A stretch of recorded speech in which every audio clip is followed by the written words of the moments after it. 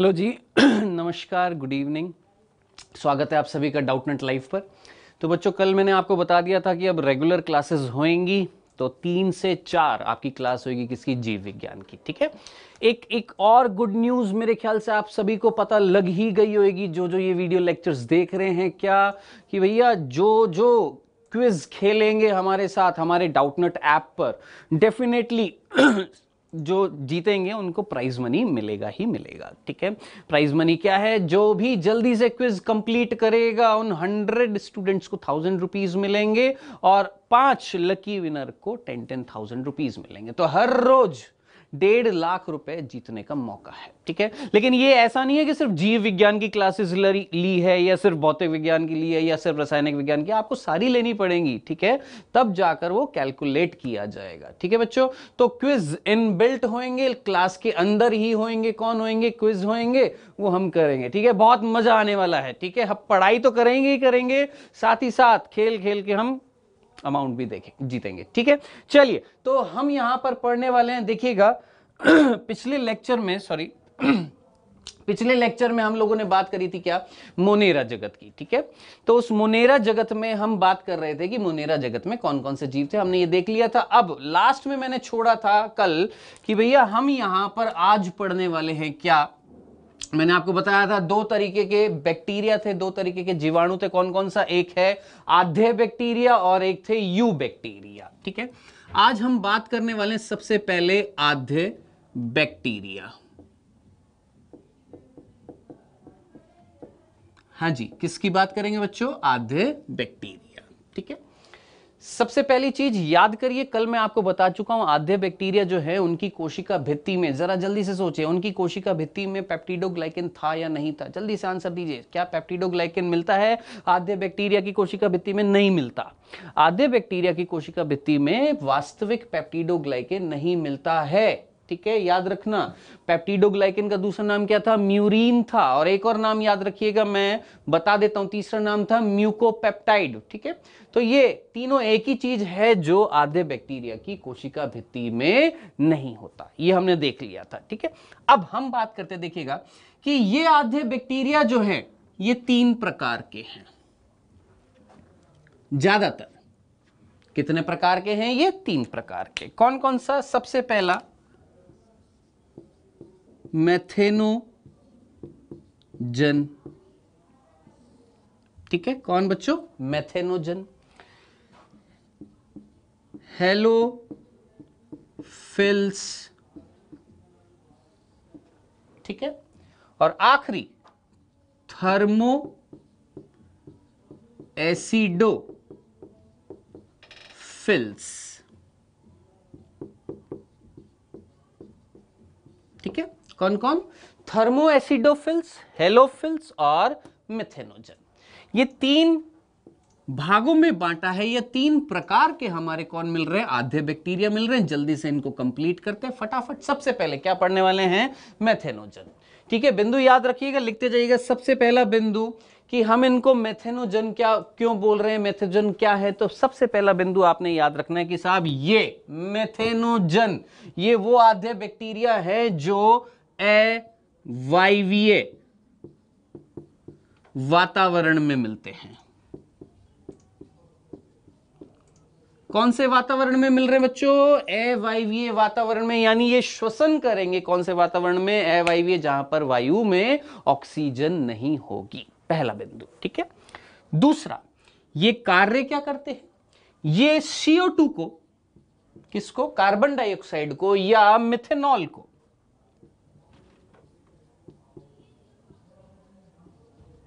किसको? Carbon dioxide को या मिथेनॉल को या सेल्यूलोज को? ठीक है? बदलते हैं, अपघटन करते हैं और एक गैस का निर्माण करते हैं। कौन सी? मीथेन का। ठीक है? तो मेथेनोजन वो आधे बैक्टीरिया है जिन्होंने कार्बन डाइऑक्साइड को या मिथेनॉल को या सेल्यूलोज को तोड़ा और क्या उत्पन्न कर दी? मीथेन। अब मीथेन जो होती है, ध्यान से सुनिएगा, मीथेन जो होती है, वो ज्वलनशील गैस होती है। कैसी होती है? ज्वलनशील। जिसको हम, या ये बोलेंगे, जो एक बहुत इंपॉर्टेंट भाग होता है किसका? जैविक गैस का। जिसको हम बायोगैस बोलते हैं। ठीक है? तो याद रखिएगा क्या? मेथेनोजन क्या कर रहे थे? इसको तोड़ रहे थे। मीथेन उत्पन्न कर रहे थे। और मीथेन जो है वो किसका भाग है? जैविक गैस का है। या जिसको हमने बायोगैस बोला है। तो सोच के मुझे बताइए, कई ऐसे बच्चे होंगे जो रूरल एरिया से होंगे या गाँव से होंगे। सोचिए, आपके गाँव में क्या आपने गोबर गैस प्लांट, सुना है ना? गोबर गैस प्लांट या बायोगैस प्लांट जो होता है ठीक है? उसमें क्या करते हैं? आसपास का जितना भी कूड़ा, कचरा, गोबर, वोबर सब कुछ लाकर डाल देते हैं, ठीक है? उसको बंद कर देते हैं और उसके बाद अंदर क्या होता है? अपघटन होता है उन चीज़ों का, जिससे क्या उत्पन्न होती है? मीथेन उत्पन्न होती है। उस मीथेन को कलेक्ट करते हैं, निकालते हैं और क्या उत्पन्न हो रही है? हमें जैविक गैस उत्पन्न हो रही है, ठीक है? उस प्लांट को हम क्या बोलते हैं? बायोगैस प्लांट ठीक है? जैविक जैविक गैस प्लांट है, ठीक है? तो ये हमने किसकी बात करी है बच्चों? मिथेनोजन की। तो सिंपल सा याद रखना, मिथेनोजन एवाईवीए वातावरण में मिलते हैं। इसको बदलकर मीथेन गैस उत्पन्न कर रहे हैं। इसी वजह से इनका नाम क्या है? मिथेनोजन है। सिंपल सा था ना? अब आगे चल रहे हैं। ये हमारा पहला खत्म हुआ है। कौन? मिथेनोजन। ठीक है? आइए, दूसरा। दूसरा कौन है? हेलोफिल्स। ये बहुत सिंपल से इसको जल्दी से खत्म करते यही हमारा इंपॉर्टेंट था। कौन? मिथेनोजन। नेक्स्ट हम बात करने वाले किसकी? हेलोफिल्स की। अब हेलोफिल्स क्या होते हैं? तो याद रखना है सीधा सीधा याद रखना है आपने जो अच्छा दूसरा पह, पह, पहला पॉइंट याद रखना है ये कहाँ पर कौन से वातावरण में मिल रहे थे? अवायवीय में ये कहाँ पर मिलते हैं? वाईवीए में। ये वाईवीए वातावरण में मिल रहे हैं पहला बिंदु। दूसरा दूसरा बिंदु आपने याद रखना है भैया कि ये हेलोफिल्स कहाँ पर मिलते हैं? लवणीय क्षेत्रों में मिलते सिंपल और कुछ याद नहीं रखना है। सिंपल। कहा कैसे होते हैं? ये वायवीय वातावरण में मिलते हैं और कहाँ पर मिलते हैं? ये लवणीय क्षेत्रों में मिलते हैं, जहाँ पर लवण की मात्रा क्या मिलती है? ज़्यादा होती है। यानी सॉल्टी कंडीशन ठीक है? जहाँ पर सॉल्ट यानी लवण की मात्रा अधिक होगी वहाँ पर मिल रहे कौन बच्चों? हेलोफिल्स खत्म। इससे ज़्यादा कुछ नहीं याद रखना है। आखिरी थर्मो एसिडोफिल्स अब नाम में देखिए थर्मो आ रहा है। थर्मो वर्ड इंग्लिश का और थर्मो का मतलब क्या होता है? टेम्परेचर, यानी ये वो है जो उच्च तापमान उच्च तापमान को झेल सकते हैं। कितना? 80 डिग्री तक के तापमान को या उससे ज़्यादा के तापमान पर भी मिलते हैं। पहला बिंदु। दूसरा, देखिए, थर्मो वर्ड आ गया और क्या वर्ड आ रहा है? जरा सोचिए, एसिडो आ रहा है। एसिडो वर्ड किससे है एसिड से, और एसिड मतलब अम्ल से। यानी ये वो हैं जो उच्च तापमान के साथ साथ अम्लीय वातावरण में मिलते हैं। कौन से वातावरण में मिल रहे हैं बच्चों? अम्लीय वातावरण में मिल रहे हैं, यानी निम्न पीएच पर पाए जा रहे हैं। कौन? थर्मो एसिडोफिल्स मिल रहे हैं, ठीक है? तो ये सिंपल सी चीज़ याद रखनी है, क्या थर्मो एसिडोफिल्स उच्च तापमान पे मिलते हैं और अम्लीय वातावरण में पाए जाते हैं, ठीक है? अब जैसे मैं आपको बता देता हूँ, यहाँ पर गर्म पानी का झरना, याद रखना। कौन बच्चों? गर्म, ये लिख लेना वर्ड, गर्म पानी का जो झरना होता है किसका गर्म पानी का झरना जो होता है? वहाँ पर मिल रहे गर्म पानी का जो झरना है, वहाँ पर मिल रहे हैं कौन? थर्मो एसिडोफिल्स ठीक है? तो यहाँ पर तीन बिंदु याद रखने बच्चों सीधा सीधा पहला, कि उच्च तापमान पर मिल रहे हैं, अम्लीय वातावरण में मिल रहे हैं। जैसे कहाँ मिल रहे हैं? गर्म पानी का जो झरना होता है, वहाँ पर मिल रहे हैं। हेलोफाइल्स कैसे होते हैं? वायवीय होते हैं, और ये भी वायवीय, ये भी याद रखना। ये भी कैसे हैं? वायवीय, लेकिन ये कैसे थे? मिथेनोजन कैसे थे? अवायवीय थे साहब, ये कहाँ पर मिल रहे हैं? लवणीय क्षेत्र में मिल रहे हैं। अब जरा सोचिए। क्या हम लवणीय क्षेत्र में मिल सकते हैं? क्या हम उच्च तापमान में रह सकते हैं? क्या हम अम्लीय वातावरण में रह सकते हैं? क्या हम अवायवीय वातावरण में रह सकते हैं? यानी ये वो परिस्थितियाँ हैं, ये वो परिस्थितियाँ हैं जो हमारे लिए या और किसी जीव के लिए कैसी होएँगी प्रतिकूल होंगी। ठीक है अनुकूल परिस्थितियाँ नहीं है। ऐसी प्रतिकूल परिस्थिति में कौन मिल रहे हैं? भैया, आपके आधे बैक्टीरिया मिल रहे हैं। ये बिंदु मत भूलना। ये हमने कंप्लीट किया है क्या? आधे बैक्टीरिया यानी आर्के बैक्टीरिया। ठीक है? अब इसके बाद हम क्या पढ़ेंगे? Eubacteria. लेकिन वो पढ़ने से पहले मैंने आपको क्या बोला था? क्लास के बीच में हम क्या खेलेंगे? क्विज खेलेंगे। ठीक है? तो क्विज जो हम खेलेंगे, उसमें टॉपिक जो हम लेंगे वो पुराने भी होंगे और जो हम पढ़ रहे हैं उससे रिलेटेड भी होंगे। ठीक है? तो जो जो बच्चे स्टार्टिंग से आ रहे हैं, जिन जिन ने ये चैप्टर पढ़ा है, वो आराम से क्विज करेंगे। ठीक है? आइए, सबसे पहला क्वेश्चन हम देखने वाले हैं यहाँ पर। देखते हैं क्या आ रहा है।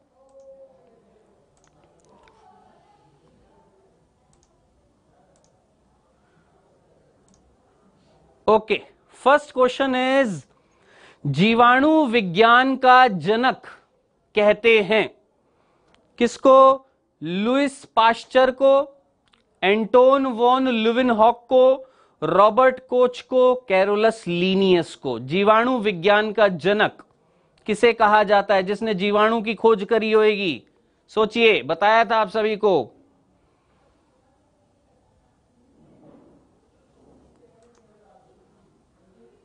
नेक्स्ट दूसरा क्वेश्चन जीवाणु की कोशिका भित्ति बनी होती है। जीवाणु की कोशिका भित्ति किससे बनी होती है?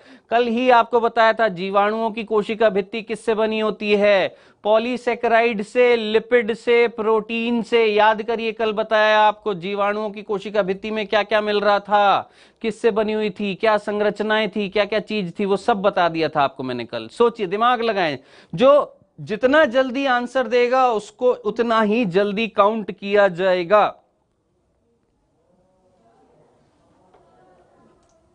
चलिए तो बेटा ये हमने दो सिंपल से क्वेश्चन देखे हैं, ठीक है? आइए, पहले क्वेश्चन का एक बार जल्दी से एनालिसिस कर लेते हैं। पहला क्वेश्चन क्या है, एक बार देखते हैं फटाफट हम यहाँ पर।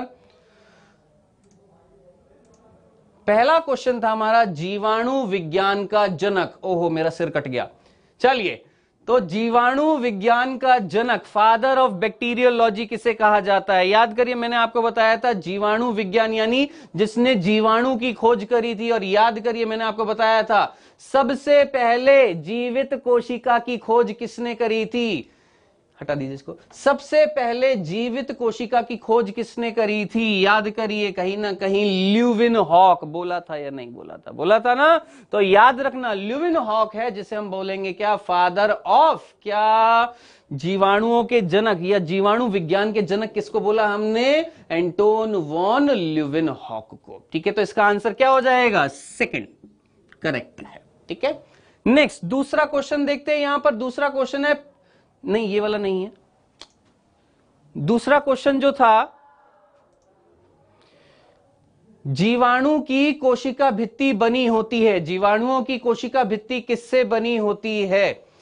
तो मैंने आपको बताया था, जीवाणुओं की कोशिका भित्ति बनी होती है किससे? बच्चों, याद करिए, कल बताया है, पेप्टिडो, ग्लाइकेन से। किससे बनी होती है? पेप्टिडोग्लाइकेन से। कौन बनी होती है? जीवाणुओं की कोशिका भित्ति।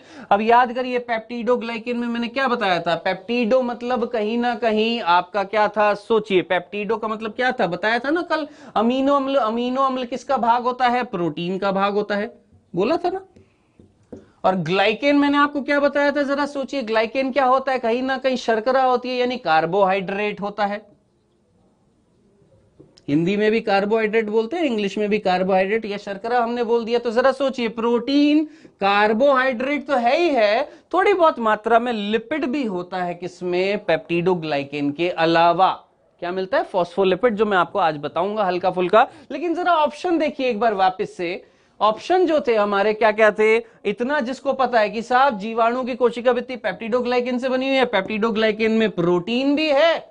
कार्बोहाइड्रेट भी है, यानी कार्बोहाइड्रेट कौन? पॉलीसेक्राइड, याद रखना। कार्बोहाइड्रेट कौन है बच्चों? पॉलीसेक्राइड है। तो ए और सी अगर हैं तो बी भी होगा, यानी इसका करेक्ट आंसर क्या हो जाएगा बच्चों? डी हो जाएगा। यानी सब कुछ मिल रहा है, हटा दीजिए। सब कुछ मिल रहा है कोशिका भित्ति में किसकी जीवाणुओं की कोशिका भित्ति? ये क्वेश्चन नीट में पूछा गया है। ये जो मैं आपको दे रहा हूँ यहाँ पर, ठीक है?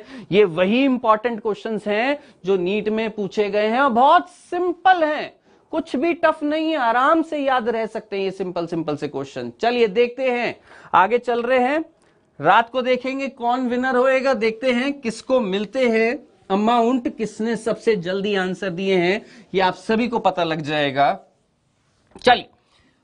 आगे चलते हैं। ये देखिए, ये हम लोगों ने अब क्या पढ़ लिया था? आधे बैक्टीरिया। ठीक है? अब आ जाते सबसे इंपॉर्टेंट मोनेरा जगत में। देखिए, आप कहेंगे, सर, इतना लंबा मोनेरा जगत क्यों चला रहे हैं? बेटा, मोनेरा जगत बहुत इंपॉर्टेंट है। प्रोटिस्टा फंजाई से बहुत इंपॉर्टेंट है। क्वेश्चन बहुत बनते हैं। ठीक है? तो हमने देखिए, मोनेरा जगत में पहले क्या पढ़े? सामान्य लक्षण पढ़ लिए। फिर मोनेरा जगत के जीव पढ़ रहे हमने पहले पढ़ा कि आधे बैक्टीरिया पढ़ लिया अब क्या पढ़ेंगे? यू बैक्टीरिया फिर पढ़ेंगे नील हरित शैवाल और फिर पढ़ेंगे क्या? माइकोप्लाज्मा आइए जल्दी से पढ़ते हैं क्या यू बैक्टीरिया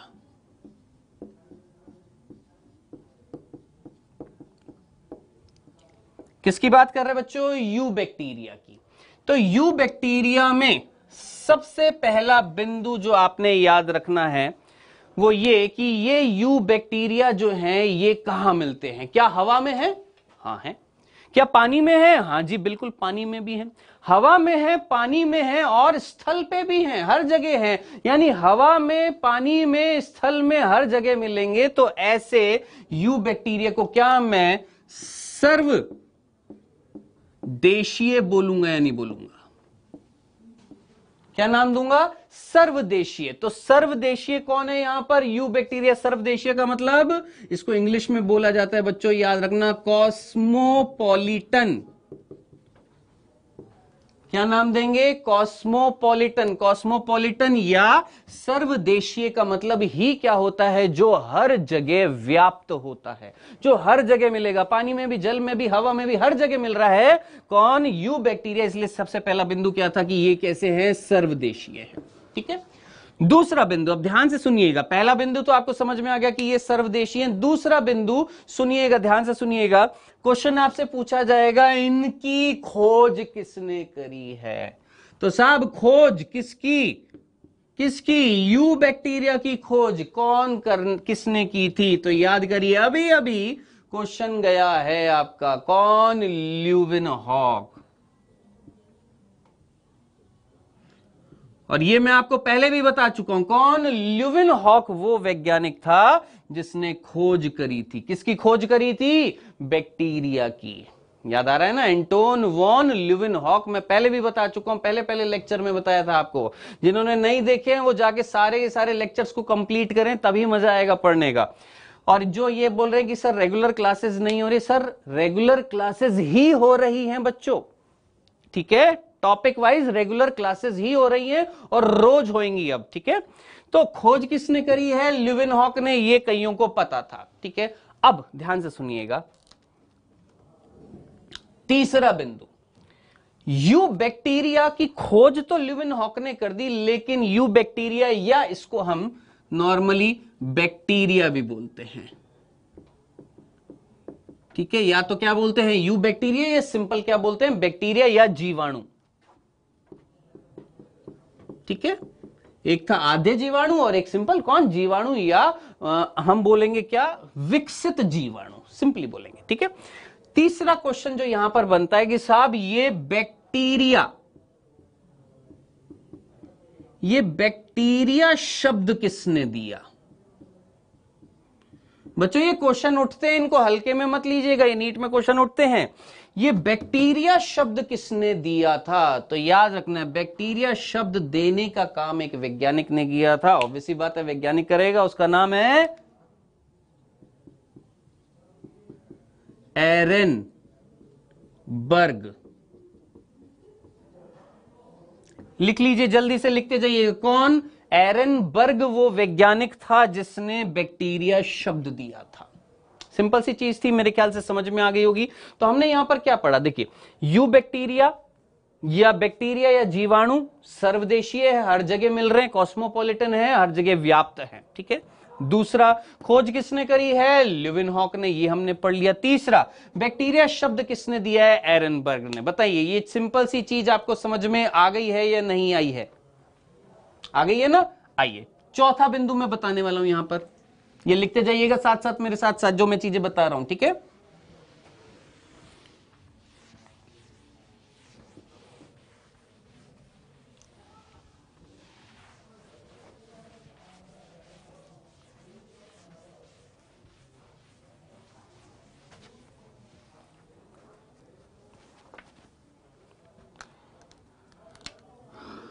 चौथा बिंदु। सबसे छोटा जीवाणु। हाँ जी, क्वेश्चन ये है, सबसे छोटा जीवाणु कौन है? क्या नाम है उसका, सबसे छोटे जीवाणु का? तो नाम याद रखना क्या बच्चों?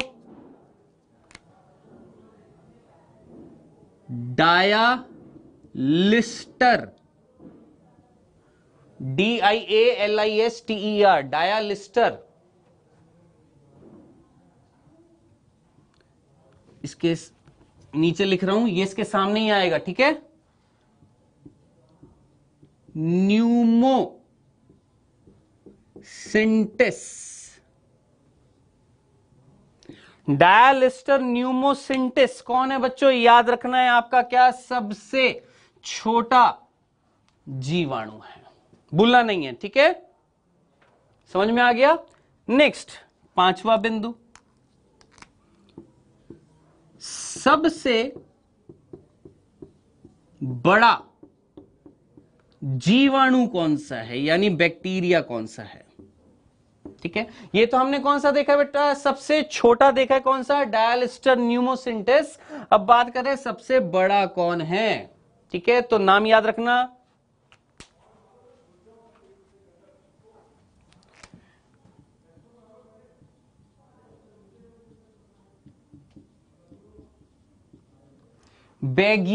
Beggiatoa B E double G I A T O A Beggiatoa,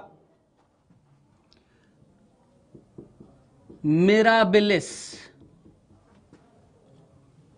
ये पूरा एक नाम है और साहब ये भी पूरा एक ही नाम था, कहीं ये सोचो कि ये अलग अलग है। इतना तो समझ में आना चाहिए क्या ये वंश नाम है और ये जाति नाम है। ये वंश नाम है और ये जाति नाम है, ठीक है?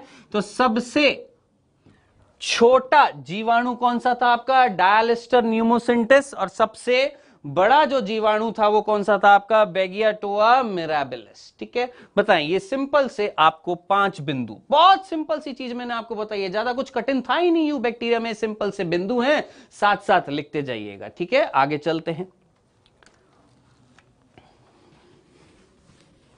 चल।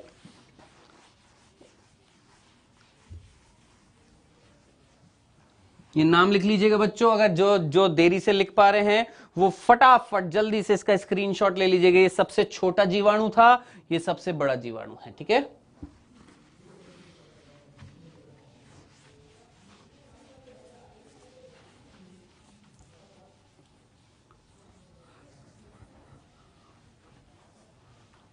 चलिए तो ये हमने सिंपल से पाँच लक्षण देखे हैं, ठीक है? अब हम बात करते हैं कि ये जो यू बैक्टीरिया या बैक्टीरिया ये जो जीवाणु जो हैं, इनकी आकृति देखने वाले हैं। इनकी क्या देखने वाले हैं? आकृति। ठीक है? अब जब हम आकृति की बात करते हैं तो देखिएगा यहाँ पर चार प्रकार के आकार के आधार पर चार प्रकार के जीवाणु होते हैं। बहुत सिंपल से हैं आप सभी ने पढ़ा हुआ मैंने पहले भी आपको दिखाया हुआ है, ठीक है? कौन कौन से हैं चार? आइएगा, फटाफट देखते हैं। सबसे पहला, ध्यान से सुनिएगा, सबसे पहला जो है, वो है आपका गोलाकार। ठीक है? अब गोलाकार यानी इस तरीके से गोल आकार में कौन मिल रहे हैं आपके? जीवाणु मिल रहे हैं। उनको हमने सिंपली क्या कहा गोलाकार। ठीक है? अब इसको इंग्लिश में क्या बोलते हैं, वो भी सुनिएगा। पहले मैं हिंदी में लिख देता हूँ सारे, फिर मैं इंग्लिश में भी बताऊँगा, ठीक है? या चलिए इसी के साथ ही लिख देता हूँ इंग्लिश में ताकि कंफ्यूजन ना हो। इनको बोलते हैं इंग्लिश में कोकस क्या बोलते हैं इंग्लिश में? कोकस ठीक है? गोलाकार जब आकृति होती है, उसको हम क्या बोलते हैं? कोकस अब इसका उदाहरण ध्यान से सुनिएगा। उदाहरण बहुत इंपॉर्टेंट है। क्या?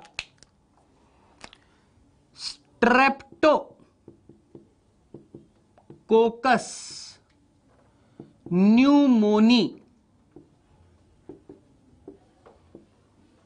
ये उदाहरण है किसका? गोलाकार का। जैसे ये आकृति आपको दिखाई दे रही है, इस आकृति के जीवाणु जो होते हैं, उनको हम क्या बोलते हैं? कोकस बोलते हैं, जिसका उदाहरण है क्या? Streptococcus pneumoniae. जरा सोच समझ के मुझे बताएँ, ये स्ट्रेप्टोकोकस न्यूमोनी से कौन सा रोग होएगा? हम अच्छे तरीके से जानते हैं। इससे जो रोग होता है, कौन सा होता है?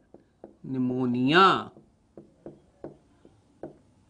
होता है ना कौन सा? निमोनिया। किससे होता है? स्ट्रेप्टोकोकस निमोनी से। कौन सा रोग होता है? निमोनिया। तो जरा सोचिए रोग करने के लिए उत्तरदायी जो जीवाणु था, उसकी आकृति कैसी थी? गोलाकार थी या नहीं थी? समझ में आ गया?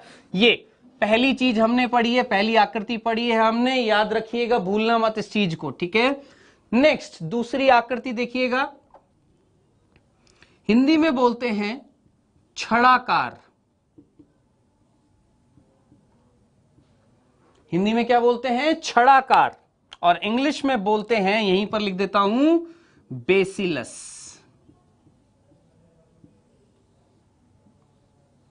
ठीक है?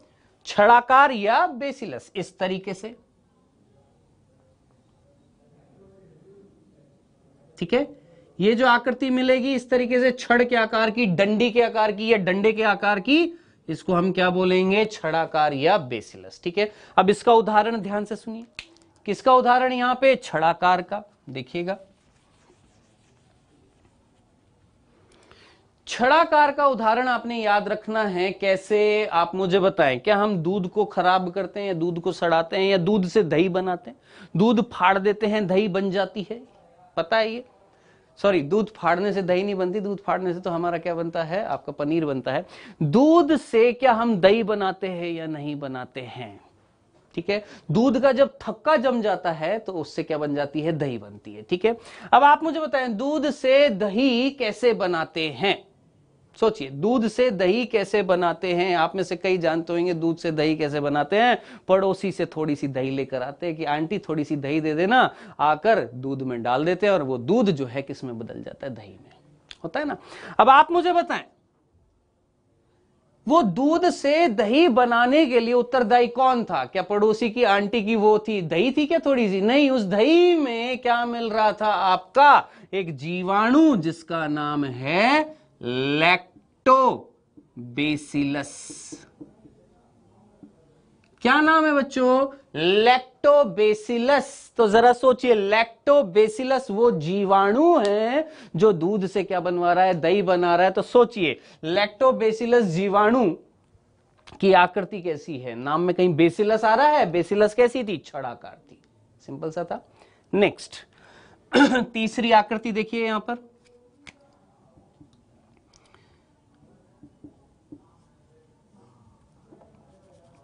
तीसरी आकृति है सर्पिल। ठीक है? कौन सी है? सर्पिल, जिसको हम इंग्लिश में क्या बोलते हैं? स्पाइरिलम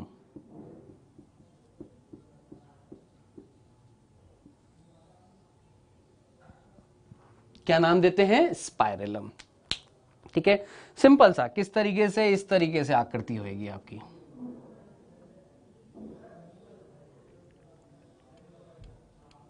ठीक है? और दोनों जो छोर होंगे उन छोर पर, किनारे पर क्या मिल रही है? कशाभिका मिल रही है। ये आकृति सिंपल सा याद रखना है क्या आपकी कैसी है? सर्पिल आकृति है, ठीक है? आखिरी, चौथी जो आकृति है, वो मैं आपको ऊपर बना देता हूँ यहाँ पर। नाम बता देता हूँ। आप सभी ने नाम सुना होगा, कोशाकार। ठीक है? जिसको हम इंग्लिश में बोलते हैं विब्रियो। क्या नाम देते हैं? विब्रियो या कोशाकार। ठीक है? अब क्या होता है ये? ये कोमा आकृति होती है। कैसी आकृति होती है? कोमा की जैसी। इस तरीके से।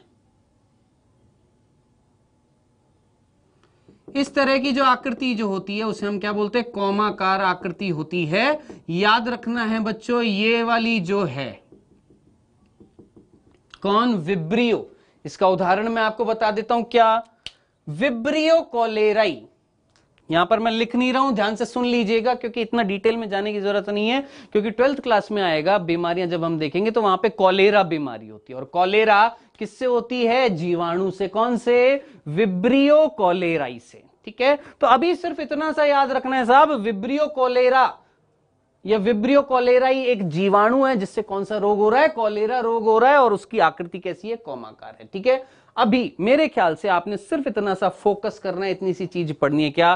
गोलाकार आकृति, गोलाकार, छड़ाकार आकृति, छड़ आकार, सर्पिल आकृति इस तरीके से सर्पिल शेप में, और विब्रियो यानी कोशाकार कैसी है? कौमा आकार ठीक है? उदाहरण, आपने इसका याद रखना है, गोलाकार का स्ट्रेप्टोकोकस न्यूमोनी बहुत इंपॉर्टेंट है, गोलाकार आकृति न्यूमोनिया रोग होता है। लैक्टोबेसिलस किसका उदाहरण था? बेसिलस का था, जो दूध से क्या बनवा रहा था? दही बनवा रहा था। विब्रियो कॉलेराई उदाहरण था, जिससे कौन सा रोग हो रहा है? कॉलेरा रोग हो रहा है, ठीक है? अब जरा सोचिए, इससे क्या पता लग रहा है कि जीवाणु जो है, उनकी उपयोगिता है या वो हमारे लिए हानिकारक है? दोनों तरीके हैं। देखिए, इससे हमें हानि हो रही थी कि फ़ायदा हो रहा था। फ़ायदा हो रहा था। क्या फ़ायदा हो रहा था? जरा सोचिए, हमें दही मिल रही है, जो बहुत ही पोषणीय पदार्थ है हमारे लिए, ठीक है? लेकिन यहाँ से उदाहरण जो हमने देखा, विब्रियो कोलेरा उससे क्या हो रहा था? रोग हो रहा था। कौन सा कोलेरा? तो दोनों तरीके से है यहाँ पर क्या? यू बैक्टीरिया यानी बैक्टीरिया या जीवाणु जो है हमारे लिए उपयोगी भी होते हैं और साथ साथ हमारे लिए हानिकारक भी होते हैं। सिंपल सा था ना? आइए, अब आगे चल रहे हैं यहाँ पर। अब जो आगे पढ़ने वाले हैं हम यहाँ पर, देखिएगा क्या पढ़ने वाले हैं। ये तो मैंने आपको यू बैक्टीरिया के सामान्य, क्या बोले थे? स्टार्टिंग में पाँच तो चीज़ें बताई थी, फिर उसके बाद ये हमने आकृति देख ली है। अब मैं ध्यान से सुनिएगा मैं क्या बताने वाला हूँ। अब हम बात करेंगे एक एक कोशिका मतलब बैक्टीरिया यानी जीवाणु कोशिका की पूरी संरचना देखेंगे। एक एक बिंदु पढ़ेंगे किसका? बैक्टीरिया का।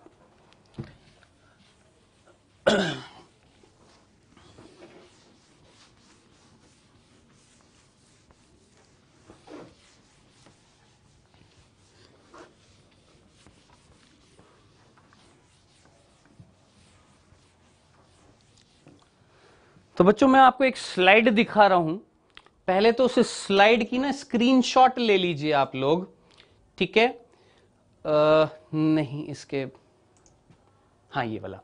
इस स्लाइड का स्क्रीनशॉट ले लीजिए जल्दी से, क्योंकि ये एक जीवाणु की संरचना है, और इस जीवाणु की संरचना में हम एक एक चीज़ पढ़ने वाले हैं। ठीक है? जल्दी से स्क्रीनशॉट ले लीजिए बच्चों। मैं भी आ जाऊँगा अच्छे से।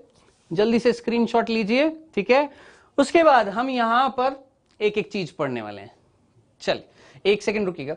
सबसे पहला चीज़ जो हम पढ़ने वाले हैं, देखिएगा, इस संरचना में आपको हरे रंग की संरचना क्या दिखाई दे रही है? हरे चीज़। देखिएगा, सोचिए हरी हरी जो बाहर की जो दीवार है, हरे रंग की, एक बुक के पन्ने की तरह खुलती हुई दिखाई दे रही है यहाँ पर। क्या लिखा हुआ है उसे? कैप्सूल। लिखा हुआ है ना? तो हम यहाँ से किसकी संरचना पढ़ने वाले हैं? जीवाणु की। चलिए, आइए देखते हैं यहाँ पर, इसको हटा दीजिए। हम यहाँ पर किसकी संरचना देख रहे हैं बच्चों? स्क्रीनशॉट आपने ले लिया है, ठीक है? हम यहाँ पर जीवाणु की क्या देखने वाले हैं? संरचना।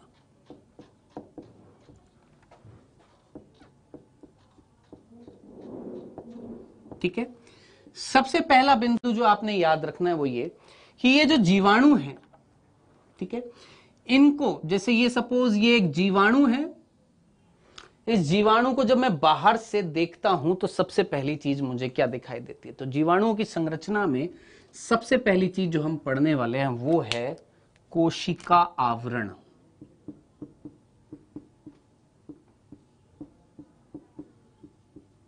क्या पढ़ने वाले बच्चों? कोशिका आवरण, ठीक है?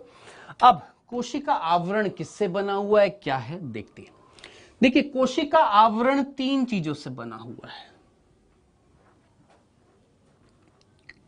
सबसे पहली, जो सबसे बाहरी चीज़ जो है कोशिका आवरण की, वो है, ध्यान से सुनना, ग्लाइको कैलिक्स।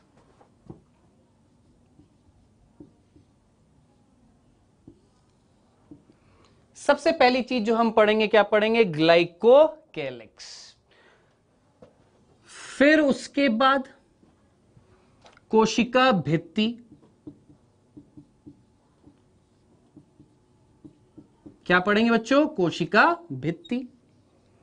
और कोशिका भित्ति के बाद हम पढ़ेंगे क्या? कोशिका झिल्ली। ठीक है? बिल्कुल भी कहीं जाने की ज़रूरत नहीं है, क्योंकि बहुत सारी चीज़ें हम यहाँ पर पढ़ने वाले हैं और इस चीज़ की गारंटी ले रहा हूँ, अगर नहीं पढ़ा ना, नहीं ध्यान से पढ़ा तो ये सारा वेस्ट चला जाएगा। मेरी पूरी मेहनत वेस्ट जाएगी तो भैया बने रहिए। ये सारी चीज़ें इंपॉर्टेंट है।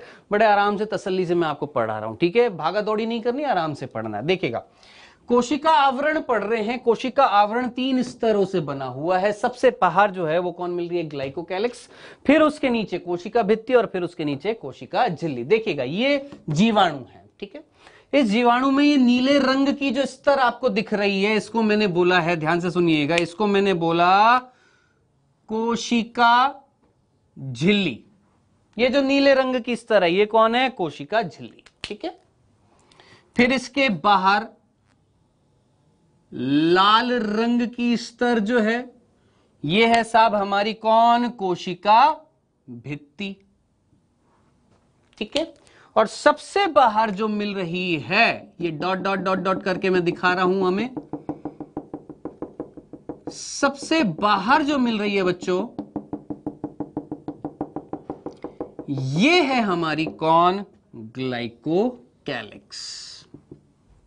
ठीक है? तो ये हमने सिंपल सी चीज़ देखी क्या? कि भैया जीवाणु की संरचना देख रहे हो जीवाणु की संरचना में सबसे पहली चीज़ हम देख रहे हैं क्या? कोशिका आवरण और ये कोशिका आवरण जो है, किसका आवरण है? कोशिका का, जो तीन स्तरों से बना हुआ है, सबसे बाहर ग्लाइकोकैलिक्स, फिर उसके नीचे कोशिका भित्ति। कोशिका भित्ति के नीचे कौन? कोशिका झिल्ली। ये तीन चीज़ें मिलकर क्या बना रही है? कोशिका आवरण। यहाँ तक समझ में आ गया ना? अब ध्यान से सुनना, सबसे पहले हम किसकी बात करने वाले हैं? ग्लाइको कैलेक्स की। आइएगा, सबसे पहले किसकी बात करेंगे बच्चों? ग्लाइको कैलेक्स की।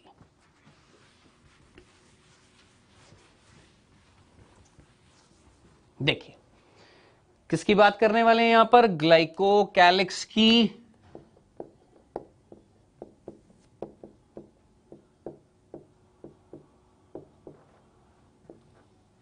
हाँ जी, ग्लाइकोकैलिक्स।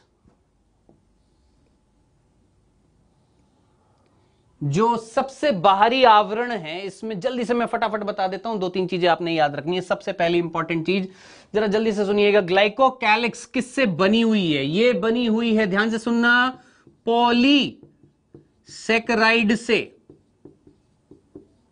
ध्यान से सुनिएगा और लिखते जाइएगा बच्चों, ये कहीं नहीं मिलेगा इंपॉर्टेंट है, ये बहुत इंपॉर्टेंट है। क्या ग्लाइकोकैलिक्स किससे बनी हुई है? पॉलीसेक्राइड पॉलीसेक्राइड कौन होती है? शर्करा यानी कार्बोहाइड्रेट तो सिंपल शब्दों में बोले ग्लाइकोकैलिक्स किससे बनी हुई है? कार्बोहाइड्रेट से। पहला बिंदु। दूसरा, ये ग्लाइकोकैलिक्स ये पहला पॉइंट था, आपको याद रखना है। दूसरा पॉइंट आपने याद रखना है ग्लाइकोकैलिक्स का, कि इसका कार्य क्या है? तो याद रखना, ये वो ग्लाइकोकैलिक्स है जो जीवाणुओं को फटने से, ध्यान से सुनना, जीवाणुओं को फटने से बचाती है। तो इनका दूसरा कार्य क्या हो गया? ये जीवाणु को फटने से बचाती है।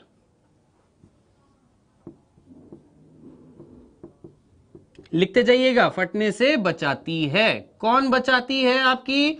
ग्लाइकोकैलिक्स ये कार्य था। बनी किससे हुई है? पॉलीसेक्राइड से कार्य ये था। एक और कार्य, तीसरा, बिंदु आपने याद रखना है, पहले ये दोनों कार्य हैं।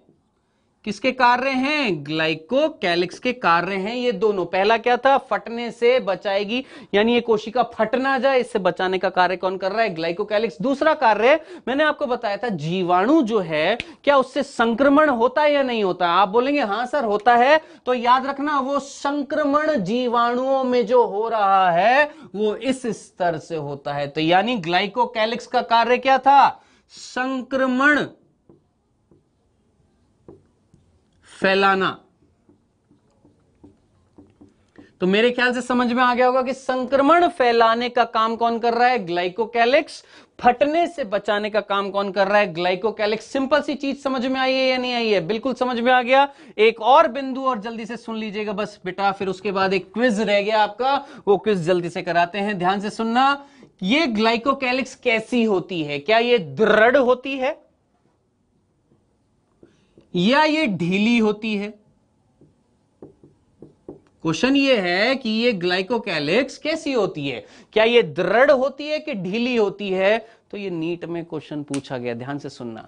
अगर ये ग्लाइकोकैलिक्स दृढ़ होएगी, यानी हार्ड होएगी, ठोस होएगी, तब मैं इस ग्लाइकोकैलिक्स को, ध्यान से सुनना, तब मैं इस ग्लाइकोकैलिक्स को, ये मैं हटा रहा हूँ, यहाँ से पहला बिंदु आप लोगों ने लिख लिया होगा तब मैं इस ग्लाइकोकैलिक्स को क्या बोलूँगा? याद रखना, तब मैं इस ग्लाइकोकैलिक्स को बोलता हूँ, संपुटिका।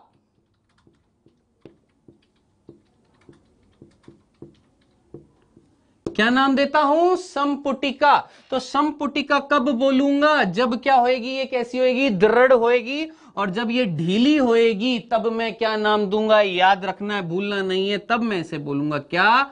अवपंक। परत। क्या नाम दूँगा? अवपंक परत। तो अवपंक परत कब बोलूँगा? ग्लाइकोकैलिक्स को जब कैसी मिलेगी? ये लचीली मिलेगी, ढीली मिलेगी। लेकिन अगर ये ठोस होएगी, दृढ़ होएगी तो क्या नाम दूँगा? संपुटिका। याद रखना, ठीक है? संपुटिका को इंग्लिश में बोलते हैं कैप्सूल। क्या नाम देते हैं? कैप्सूल। और अवपंक परत को इंग्लिश में बोलते हैं स्लाइम। लेयर। ठीक है? तो मैंने इंग्लिश में भी बता दिया। जिनको ये थी कि, सर इंग्लिश में वर्ड बता दिया करो तो अवपंक परत या स्लाइम लेयर कब बोलेंगे? जब ग्लाइकोकैलिक्स कैसी होगी ढीली और दृढ़ कब हो जब दृढ़ होएगी, ये हार्ड होएगी तो क्या बोलेंगे? कैप्सूल या संपुटिका किससे बनी हुई है? कार्बोहाइड्रेट से। काम क्या कर रही है? जीवाणुओं को फटने से बचा रही है और संक्रमण फैलाने के लिए जिम्मेदार थी कौन? ग्लाइकोकैलिक्स तो जरा सोचिए, आज हमने जीवाणुओं की संरचना में, कोशिका आवरण में क्या पढ़ ली है? ग्लाइकोकैलिक्स पढ़ ली है।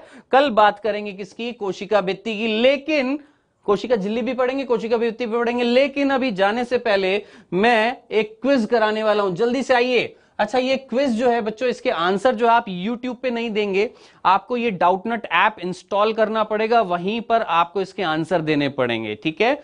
जब वहाँ पर आप आंसर देंगे तो वहीं पर ही आपका वोट माना जाएगा, या आपके आंसर को काउंट किया जाएगा, ठीक है? यूट्यूब पे नहीं किया जाएगा बच्चों। पहले ही मैं क्लियर कर दूँ आप लोगों को कि यूट्यूब पे नहीं माना जाएगा वो आंसर आपको ऐप डाउनलोड करनी पड़ेगी, ठीक है?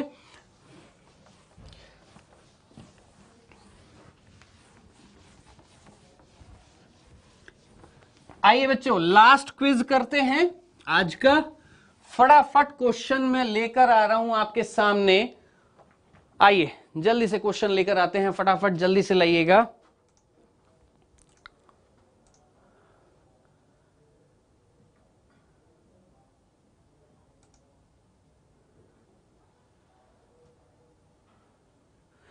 पाँच जगत वर्गीकरण किसने प्रस्तुत किया था? बालक, जल्दी से आंसर लगाइए। जीनियस ने, हक्सले ने, विटेकर ने हचिनसन ने। ये जीनियस लिखा हुआ है, लीनियस नहीं है फिर भी। हक्सले, लीनियस, विटेकर हचिनसन पाँच जगत वर्गीकरण किसने दिया था? याद करिए, पाँच जगत प्रणाली, पाँच जगत वर्गीकरण की प्रणाली किसने दी थी? जल्दी से आंसर लगाइए, टिक लगाइए फटाफट। यूट्यूब पे नहीं, आपको डाउटनट ऐप पर करने होंगे इसके आंसर, ठीक है? नेक्स्ट निमोनिया का क्या कारण है? ओ हो हो हो हो अभी अभी बताया था, जो बच्चे क्लास में थे, वो फटाफट जल्दी से आंसर लगाएँगे। निमोनिया किसके कारण होता है? विषाणु के कारण, कवक के कारण, शैवाल के कारण, या जीवाणु के कारण? किसके कारण होता है? जल्दी से आंसर लगाइए फटाफट।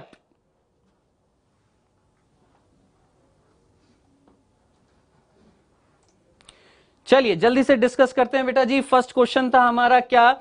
कि पाँच जगत प्रणाली किसने दी थी? आप अच्छे तरीके से जानते हैं। लीनियस ने नहीं दी थी अचिंसन ने नहीं दी थी, हक्सले ने नहीं दी थी, किसने दी थी? विटेकर ने दी थी। तो करेक्ट आंसर क्या हो जाएगा? सी सी क्या है? करेक्ट आंसर है, ठीक है? दूसरा क्वेश्चन था हमारा यहाँ पर क्या? एक बार लगाइएगा। दूसरा क्वेश्चन था हमारा, मैंने अभी अभी आपको बताया था न्यूमोनिया जो है, वो किसके कारण होता है? अभी अभी बताया था स्ट्रेप्टोकोकस न्यूमोनी बोला था ना, कौन था? याद करिए, गोलाकार जीवाणु था या नहीं था? तो करेक्ट आंसर क्या हो जाएगा? इसका एक बार ऑप्शन दिखाइएगा। इसकी करेक्ट आंसर हो जाएगा डी यानी जीवाणु। ठीक है? चलिए तो ये आज हमारा बहुत सिंपल सा क्विज हुआ है। बताएँ, इसमें कुछ मज़ा आया है नहीं आया? सिंपल सी, देखिए, ज्ञान तो बढ़ेगा ही बढ़ेगा। ठीक है? क्योंकि देखिए, मैंने निमोनिया बताया, जो क्लास में थे, वो डेफिनेटली आंसर कर पाएँगे और जीत पाएँगे, ठीक है? चलिए, कल मिलते हैं बच्चों रेगुलर क्लासेस होएगी टेक केयर बाय बाय